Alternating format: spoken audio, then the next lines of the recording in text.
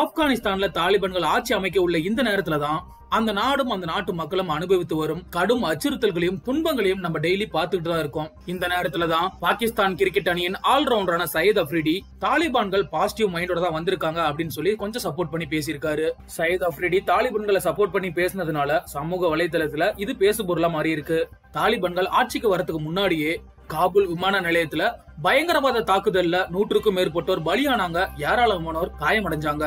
பெண்களோட சுதந்திரத்தை பத்தி நிருபர்கள் கேள்வி கேட்டப்ப தாலிபன்கள் சிரிச்சுக்கிட்டு கேமராவை ஆஃப் பண்ணு அப்படின்னு சொன்னாங்க. இஸ்லாமிய சட்டத்தின்படி என்ன சுதந்திரம் இருக்கோ அது மட்டும் தான் அளிக்கப்படும் அப்படின்னு சொல்லி வெளிப்படையாவே கருத்துக்களை சொல்லியிருக்காங்க.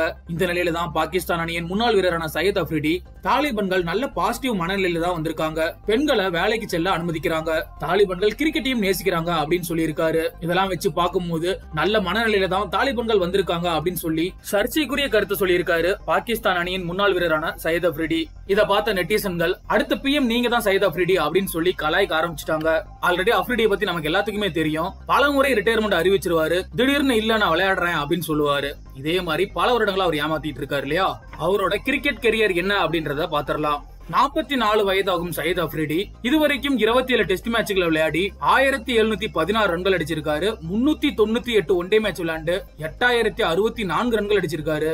அதே மாதிரி தொண்ணூத்தி ஒன்பது டி டுவெண்டி போட்டிகள் விளையாண்டு ஆயிரத்தி நானூத்தி பதினாறு ரன்கள் அடிச்சிருக்காரு. இவர் ரிட்டையர்மெண்ட் பிளேயரா இல்ல இன்னமும் விளையாண்டுட்டு இருக்காரா அப்படிங்கிறது நம்மளாலேயே கண்டுபிடிக்க முடியாது.